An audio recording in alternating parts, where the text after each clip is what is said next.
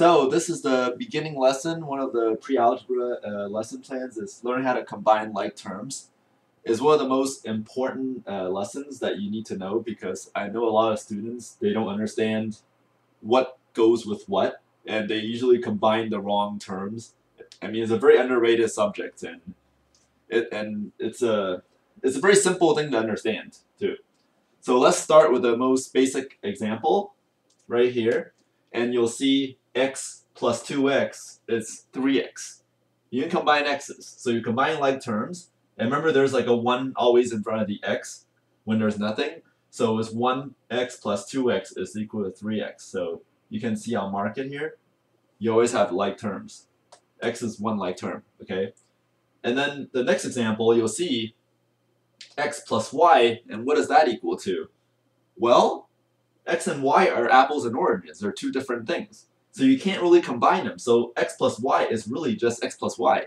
You can't simplify anymore. x plus y is x plus y. You can't combine two different elements. Okay? So you'll see x is x. You can't you can't combine the y with the x like that. So the next example I'll show you is you'll get y squared plus 3y squared. So you get two different two of the same terms, okay? See, they're the same. When they're the same elements, you can combine them, but it's only when they're the same.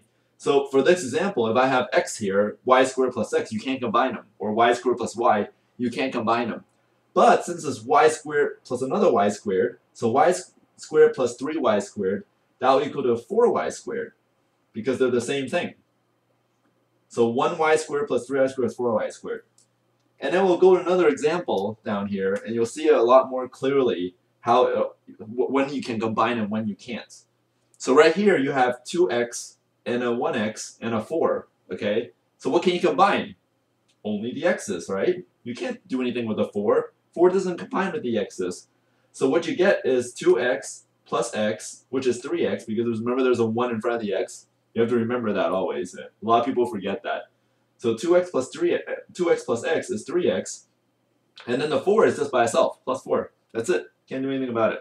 Okay?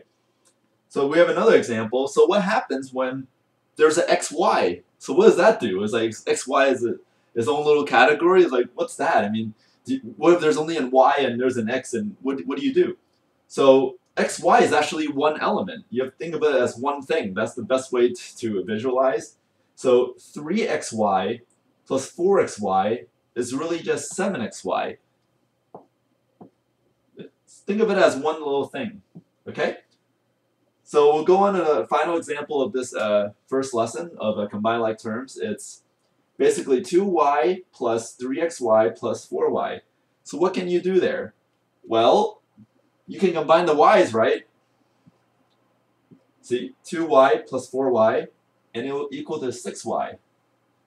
But can you do anything with a 3xy? Can you can you say 2y plus 3xy equals to 5xy? No, you can't do that because these are different. y and xy are two different elements. You can't just combine them. But you can combine the y's, just not when it's xy. So 2y plus 4y is 6y, and then 3xy is just by itself because there's nothing else. There's no other xy's here, right? So I hope uh, you understand this lesson plan. Please um, comment, email me with any questions. Uh, I'll move on to the next plan.